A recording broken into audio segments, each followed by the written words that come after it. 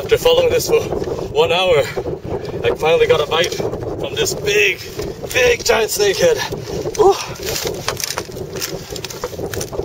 This is by far the biggest giant snakehead I've ever seen in my life. Oh my god. that is one very big mama.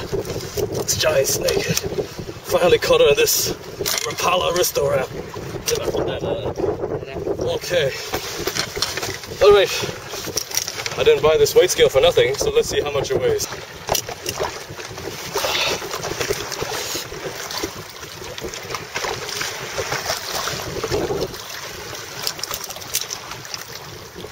Six, six point,